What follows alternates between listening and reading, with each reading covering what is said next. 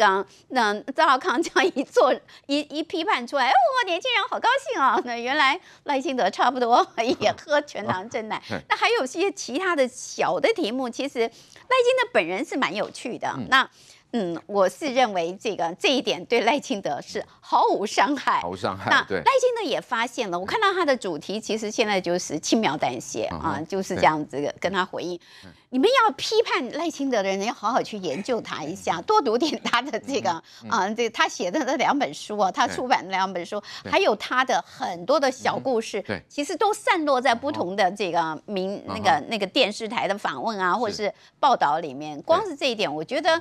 赵康真是踢到了，嗯，甜点铁板，完全是出手错误。是，的确，郑浩怎么样看这个？赖清德是没得打，是不是？打这种喝全糖真奶啦，让人家觉得啼笑皆非。那也可以对照现在郭侯之间的这种剑拔弩张。所以呢，在就讲衬托啊，外界会怎么如何看待这双方蓝绿阵营目前的最新态势嘞？我很好奇，喝个真奶怎么了吧？然后呢，那些政治评论员刚刚提纲写说，哦，今天要攻击赖清德喝全糖真奶，他们没有觉得这个通告费很难领吗？对，他们觉得这要攻击什么啦？你不知道讨论国家大事吗？对，就你提纲写说赖清德喝全糖真奶。还是全糖真奶是个犯法的行为，我们蓝营要立法禁止卖全糖真奶，喝全糖真奶的要进乐界所比照抽大麻，不可能嘛？对，那请问你要讨论什么？就是有什么好讨论？对，还是说我们未来警察酒测要多加一个血糖仪，血糖过高，形同酒测抓起来，不可能嘛？你管我？对。你管我，所以我也是在这轮节目也是混了几年，我都很好奇，说到底这些 这个政治评论，尤其是在莱茵的，你怎么骂得下去？就是觉得匪夷所思啊！对你骂的不会笑场吗？你不会觉得自己很丢脸吗？荒谬，会不会愧对你的子孙呐？有一天你的小孩拿出来说：“哎，爸，为什么你以前骂 赖清德很奇怪？”好，这一件事。好，另外一件事，我觉得赖清德因祸得福。哦，我觉得赖清德一直对我而言有个问题，就是他是很远的人。嗯。我不太知道他是什么样的人，我我我感受他都永远穿着西装，穿着衬衫。如果连我跟赖清德的感觉都是很远，我不知道他喜欢什么，我不知道他讨厌什么。我觉得他是个对我而言是缺乏血跟肉的人，对不对？我相信他是个好的领导人，可这一块很缺。赖清德一直想要这个争取年轻票，因为年轻人的喜好是很分明的。我要先知道你是什么样的人。可是当赖清德这个全堂真的坦白讲，他也没想到会爆红。这个爆红，我觉得让我们拉近了跟赖清德很大的距离。就是原来他也是跟普通人一样，对，有口腹之欲，偶尔想要这个吃些乐色食物，也不光是吃甜，还有全糖哦。哎，我要很甜，要超乐色，哎，不是不是要超甜。嗯，那再再加上很多台南人的光荣就来了。我们台南人本来就吃全糖嘛，嗯，我们台南的半糖是台北的全糖，搞清楚状况。我们连肉羹都是甜的。对啊，我们没有不甜的嘛。对，对不对？我们连粽子都给你搞成是甜的，那个酱也甜的，这台南人的光荣感又出来嘛。所以很多台南人说什么不健康。台南最不健康就是国民党，我也看人家骂，对不对？什么全党不健康？台湾最不健康的就是国民党，台湾最不健康就是国民党，也有人这样骂，所以我觉得很有趣，就是说政治上啊，有时候危机是转机，它是一念之间，它反而因为这杯饮料啊。让赖清德拉近跟一般人的距离，也拉近对年轻人距离。否则我觉得一般人都会想想象赖清德是很养生吧，好像都喝人参参茶、参汤，然后吃素食 配鸡胸肉之类的。原来我们都一样。嗯，我觉得真正要做到这件事很重要，很难呐。所以我觉得坦白讲，另外一个角度，我觉得因祸得福了。好，郭后现在还在力拼党内的征召。那另一方面呢，我们也看到白银的民众党主席柯文哲呢，今天早上。登记他们的党内参选总统哦，那其实呢？这民众党的一人党嘛，哈，不会有别人哈。而且呢，柯文哲早就说过，他要选总统，不选才是新闻。那要请教明玉，因为先前呢，国民党就一直在讲说要蓝白合啊，要非绿大联盟，所以呢，这是啊宣告这种所谓的蓝白合作破局嘛。但是朱立伦今天又说啦，哦，他坚持合作的决心呢。但问题是，民众党也说，哎，国民党到现在从来都都没有派人来跟民众党这个接触过，所以现在的情势到底是怎么样嘞？柯文哲不是说他听到蓝白合他不想听了吗？好，虽然讲。啦，柯文哲这个是一人政党哈，但是人家今天去登记选总统也花了两百零五万呐，哦不得了，也拿两百零五万出来做登记哈。那今天他在讲哦，为什么蓝白合不可能合的原因？他说我们这个 DNA 不一样啊，好，所以就不可能合嘛哈。那我必须讲，就说事实上政治现实来讲，今天有一个很有趣的新闻，不知道大家有没有有没有发现哦？就是今天某一报就有写说，独家蓝白合第一枪，台中市第六选区哈要蓝白合。那你再摊开那个新闻一看，哇！赫然发现是那个台中啊，国民党的议员罗廷伟是民众党的主委，说他要去挺这个罗廷伟哦。那你看蓝白河开第一枪，结果谁被吃掉？是民众党被吃掉哎。对，民众党内区不提人，他要去支持这个国民党的。所以你看嘛，蓝白河第一枪，结果下场是什么？是小党被吃掉嘛。对。那所以我就觉得说，你今天讲蓝白河，到最后还是以大吃小啊。柯文哲很知道这个情况嘛？那在现在就我了解，就蓝白和白就不见了。对，白就会不见，而且对柯文哲、对民众党来讲，他们现在要找那种区域立委啊，基本上是很难找到，因为对他们来讲，就是你你有地方组织系统的，或者说你一些地方投人，不是被绿的吸走就被蓝的吸走，他根本就找不到，就找不到。就是呃真的人啊，所以他们比如说像上次的议员啊，或是怎么样，你就只能变找一些素人，找一些网红，变就是这些咖，这是民众党一个很大的困境哈。那回过头来再讲哦，那王世坚昨天不是也吃了这个柯文哲豆腐嘛？他讲到说哦。他大胆的预测，九月份的时候呢，这个柯文哲一定会退选，对，自己纳入不分区，为的就是要争立院龙头。就柯文哲今天当然回向回去了，我我来博个大啦哈。如果王世坚你输的话，哦，要要吞去棍球，他就这样跟王世坚呛虾。对，但是啊，这个虽然是两边在呛虾，可是就我们从政治记者角度来看啊，哈，我认为说柯文哲哈，他会去争取这立院龙头，我自己也觉得不太可能。嗯，第一个了哈，你以国民党现在跟民众党的生态。国民党哈，他现在再怎么不济了哈，也三十八席立委，那你民众党也才五席。对，那说实在的，他们国民党内想要角逐立院龙头的人不在少数哦。你说赖世宝，然后还有傅昆奇，好，那真民中已经两届了，可能没没什么希望。可是我的意思是说，今天国民党再怎么样也是一个泱泱大党，他怎么可能让你一个只有五席不分区的？那就算今天柯文民众党这样不合理啊。对，就算让你民众党争气一点，你冲到八席，那你问题是人家也也是比你多很。多倍啊！他为什么凭你要凭什么要让你当立法院龙头？对，再来就是说柯文哲，他如果说没有立院龙头的话，只做一个阳春立委，做一个阳春立委，他一百一十三席的一其中一席，他也不会愿意嘛。所以我觉得这我在旁边，这我觉得这看大概只是政治口水啦。哈。好，那回过头来了，现在在炒作蓝白河，那当然现在最主要的契机是希望说，还是希望可以侯科配嘛。好，因为不是那个美丽岛电子报民调。显示我有侯科佩可以击败赖清德嘛？但我认为这个是非常难啊，这只是说柯文哲在被吃豆腐。那现在侯友谊在干什么？侯友谊现在这五天不是被绑在新北市议会吗？哇，这五天真的是侯友谊的深水区哦。哦，我就我了解，就是卓冠廷啊，六日两天都还闭关，他在家里要开始。要开始磨刀霍霍啊！那当然就是说，现在对侯友谊来讲是进入深水区。他看一方面看到郭台铭跑得那么开心啊，整个声势起来，他就只能在议议会，而且现在是面对民进党团要被严重的修理啊。那当然考验就是说侯友谊还是像上个礼拜，哎，议员立功立功立功，而且还是要这样子吗？那我觉得这样是过不了关的。我就要讲哦，我这边爆一个料，现在看起来哦，国民党一直要把那个侯友谊啊做成他是国民党的那个那个神呐，好，就是这个也可以瞧，那个也可以瞧。有没有？都是他到处可以协调对立委的。昨天不是还问王金平吗？就说：“哎呦，现在乔王的那个人头衔换人当了哈，对不对？好，然后那个呃，王金平还说：哦，换人当很好哦，乔是一个正面力量协调。最近呃昨这两天不是最新的消息，他乔了哪一区？他乔了张思刚、陈崇文那一区，对不对？对。就我我讲我负责，你要不要去问国民党？张思刚那一区，我也要提醒金平，张思刚的那一区的民调是五月一号到五月三号，你知道国民党出了一个大包，那天忘了做民调。什么忘了做民调？怎么可能？真的。我说我讲，我说我讲，我负责，真的，他那区他忘了做民调，有这种这么荒谬的事？黄吕锦如忘了做民，忘了做民调，对吧？那我就了代机，真的真的，你几块代机？对，他们两个没有协调，比如说两个几月几号，然后三家民调公司，然后他们那天就是忘了做了，这个扯到爆，对，不是民调公司不可能忘啊，那收了钱要办事哎，你去问那个其中的一个议员呐，反正真的他们就是忘了做民调，忘了做民调，就是没有做好民调公司，没有约好，就没有做，沟通上的误会就第一天没有做。所以呢，你就说这个到底要就是 这根本就是已经，扯到爆，这真的很扯扯到爆啊！对我我听了我是觉得非常不可思议。但是其中的一月一位议员就证实说真的忘了做民调，所以我也忘了。好然后那你反正轮到你的时候，你自己小心啦。国民党的烂账就对了啦。对啦，就烂账啊！那只是说又把 credit 做给侯友谊，哦，是他在瞧的。对呃，说实在，最后我要讲了，地游淑慧自己也公开讲嘛，他说真的能够瞧动他的就只有郝龙斌嘛。对但事实上你把 credit 侯友谊呢还是做给了侯友谊所以我觉得现在嗯国民党的那个谁还蛮清楚。对，金平议员侯友谊现在啊绑在议会嘛，那如果说绿营其实磨刀霍霍，其实用另外一个角度来思考，对侯友谊是好事啊，让他可以有表现的机会啊，不是吗？但问题是就在于他这个议会当中到底能不能为自己加分嘞？不不不，还是战战兢兢哦哦，真的还是战战兢兢，还是把这个 GPT 发挥到极限好了。嗯因为比起这个郭台铭的这个失言，他那这个时候他有任何讲错话，他没有犯错的空间。嗯嗯，刚刚我们前面讲，郭台铭苦苦追赶，急起直追，在议会面对这个绿营的议员步步进逼。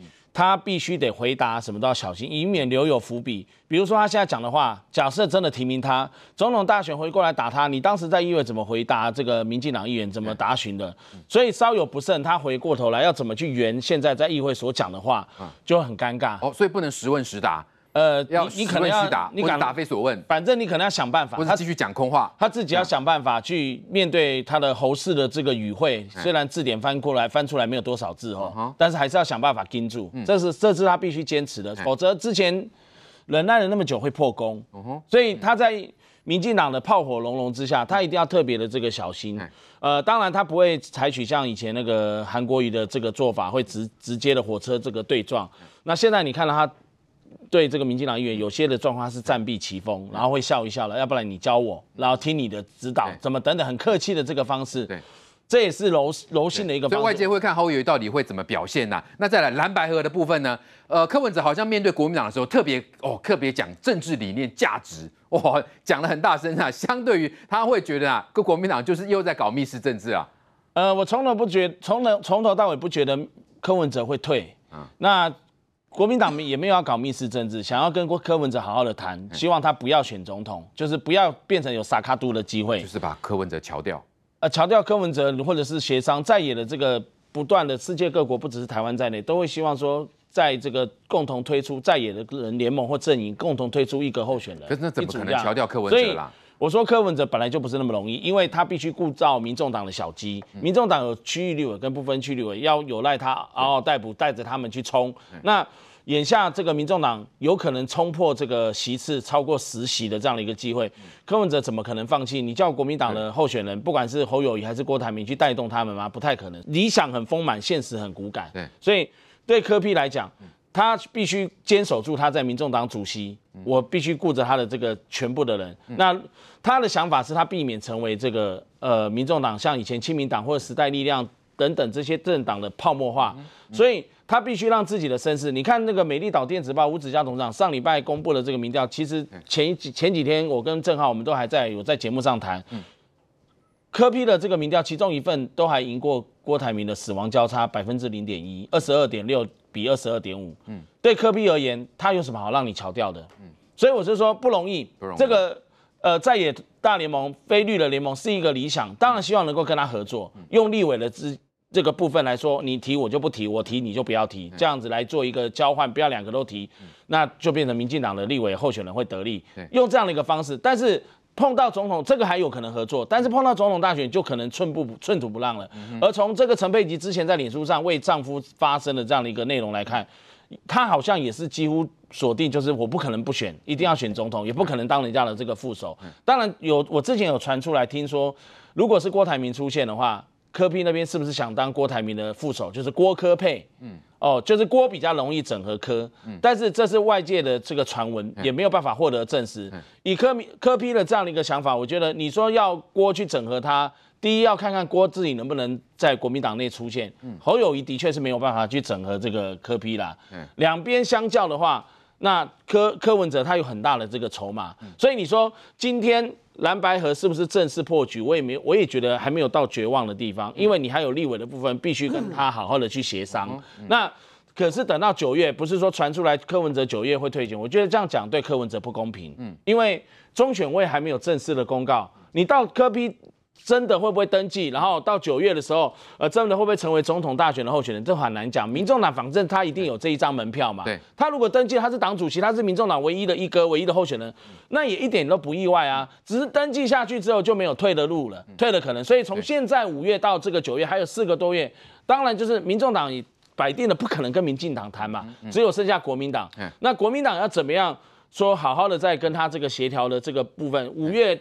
当总统候选人出来，六七八九月底以前还有三个多月，可以跟他，所以这就是朱立伦想尽想尽办法，能够跟郭郭台铭或者是侯友谊还有柯文哲三个人是。都不要撕破脸，真正的原因之一。因为你现在把话讲绝了，以后都没有任何的空间啊。哦，是来正好这个看起来柯文哲是不太可能会退选，或者说蓝白河被桥掉吧？这看起来可能性是非常的低哦。所以这个啊，那现在朱立伦到底会有什么样的招可以跟柯文哲进行所谓的合作嘞？我觉得第一件事情，蓝白合合作的空间目前还是有哦。目前合作的空间可能会是立委的部分哦。对于国民党来说，蓝白合这个合有没有可能上升到总统层次的蓝白合？嗯，兼提侯友谊不可能蓝白合。嗯哼，对不对？可如果今天国民党提的是郭台铭，郭台铭，那有另外一种蓝白合的微小机会。嗯，哦，这是第二种可能。对，所以我要谈从立委到总统，不是说完全没有可能。完全没有，它是存在可能的可能，不管这可能率多小，但是不是零，它就是另外一件事。好，这一件，另外一件事情是对于柯文哲来说，他为什么要去领表？很多人单独解读说柯文哲去领了这个民众党的总统候选人的表，就代表蓝白和破局。我也不认为应该这样。他是表给国民党看吗？不是给笑嘛？民众党就你一个柯文哲，你领什么表？没有别人啦，没有别人嘛？对。你今天国民党连表都不敢发嘛？表一发，张亚中也来了，这那个那个赵少康也来了，一大堆人都来了嘛。然后呢，民进党赖清德那时候去领表的时候，还担心有程咬金杀出来哦。可这状况在民众党没有发生嘛？对。你说黄珊珊会去领表吗？不可能。还是黄静莹去领表？不可能。还是陈佑成去领表？就没有人。不可能嘛？民众党就你一个柯文哲嘛？他去领这个表，不是形式。是政治动作，嗯，对不对？对，他领这个干嘛？给谁垫高自己的声望。对，这个可以干嘛？民调有可能会上升一些哦，因为已经有这种一一无既往感觉。第二个刷刷声量，第三个增加跟国民党谈判筹码嘛。哦，所以一举多得。对，一举多得，一举多得。否则你为什么？哎，林表是十一月去中选会领表呢？对。请问你一个 民众党党主席，党内领表，对也是要大张旗鼓要宣传呐。假动作，而且他宣传多久了？从美国回来的那天就说我之后要领表，后来还直说没有没有，不是之后是要什么时候？想选总统的人哈，这种造势宣传不嫌多。对啦，所以说你看这个领表，它真的不是一个形式，嗯，是政治，对，太多意义了嘛。所以我蓝白河，我我认为呢，有没有可能从上到下的完全整合？当然很不容易，对。可它的几率绝对不是零。是来，国栋哥，所以呢，柯文哲这样的一个大动作表态，其实宣传跟造势的这个用意都兼具嘛。特而且特别是对国民党会产生什么样的这种所谓的钟摆效应嘞？没有错，柯文哲登记以后，他的身份就不一样，他是民众党将要提名的总统候选人。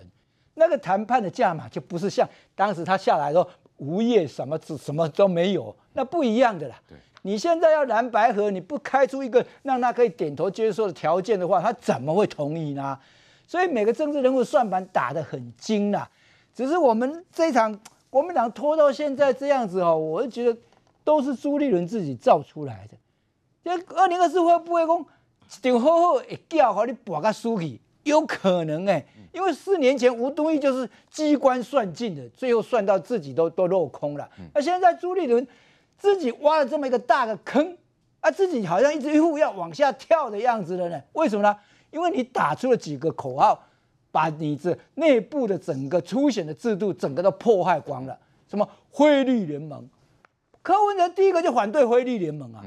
柯文哲是主张联合政府，我不要什么汇率联盟，因为你的汇率联盟让郭台铭有机可乘的。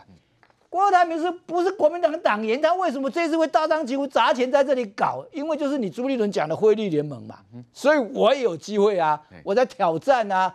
这就朱立伦你自己挖一个坑。如果说你的初选制度定出来了，大家不要讲，就是这个制度了。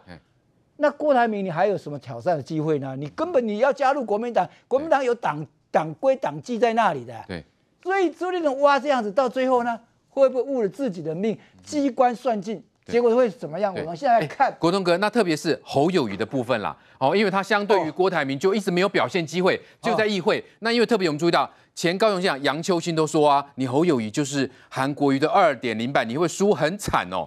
侯友谊真的在议会的表现，真的让人家真的瞠目结舌。怎么讲？你当过八年的副市长，你当过四年的市长，你怎么在第二任到一个你本来的议会熟的议会，结果你应付不了达行？我我真的从来没有想到的。你上一任刚当上市长都还不如啊，还不适任啊。我意思就是他心不在议会嘛。他整天就想要往外的时候，你自然就会表现让人家觉得说啊，这种起定不告给啊了。做个安尼来，连起定率的做不好，你别安怎你问鼎大位呢？所以这次他在议会里面，照道理讲，不管男的、绿的议员在问，你是当过四年市长，你应该都绰绰有应付、绰绰有余嘛，结果没有，就都没有。